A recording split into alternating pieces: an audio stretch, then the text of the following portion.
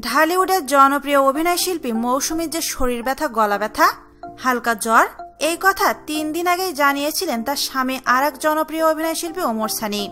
রোববার সকালে তিনি জানান, মৌসুমীর করোনা পজিটিভ। শুধু তিনি একাই নন। তার ছেলে ফারদিন মেয়ে ফাইজা এবং পুত্রবধূ আয়েশাও করোনায় আক্রান্ত হয়েছেন। গত শনিবার সকালে ঢাকার একটি হাসপাতালে কোভিড নাইন্টিন টেস্ট করানো হয় মৌসুমী ওমর সানির পরিবারের সব সদস্যদের।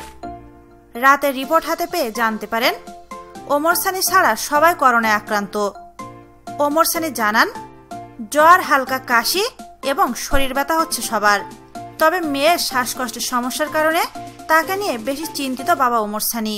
এদিকে ওমর সানি জানান, পুত্রবধূ আয়েশার অবস্থাও বেশি ভালো না। করোনার কারণে বেশি কাবু হয়ে যাওয়ায় পুত্রবধূ আয়েশা নিয়ে চিন্তিত রয়েছেন ওমর সানি। মৌসুমী সহ করোনায় আক্রান্ত পরিবারের সবাই তাদের গুলশানের বাড়িতে থেকে চিকিৎসা নিচ্ছেন। ওমর সানি চলে গেছেন তার ছেলের শ্বশুর বাড়িতে পরিবারের সবাই ওমর সানির সুরক্ষার কথা ভেবে তাকে বসুন্ধরা আবাসিক এলাকায় ছেলের শ্বশুর বাড়িতে পাঠিয়ে দিয়েছেন। ওমর সানি আরও জানান, করোনার উপসর্গ ধরা পড়ার পরই তাদের চিকিৎসা সেবা দেওয়া হয়। ফলাফল পজিটিভ আসার পরও তাদেরকে বাসায় রেখে চিকিৎসা সেবা দেওয়া হচ্ছে। তিনি আরও বলেন, আমার করোনার পজিটিভ, নেগেটিভ হয়েও আমি শান্তি পাচ্ছি না। কারণ আমার আপনজনদের সবারই করোনা পজিটিভ। আপনাদের কাছে দোয়া চাই। সবাই দোয়া করবেন। সৃষ্টিকর্তা যেন শেফা দান করে।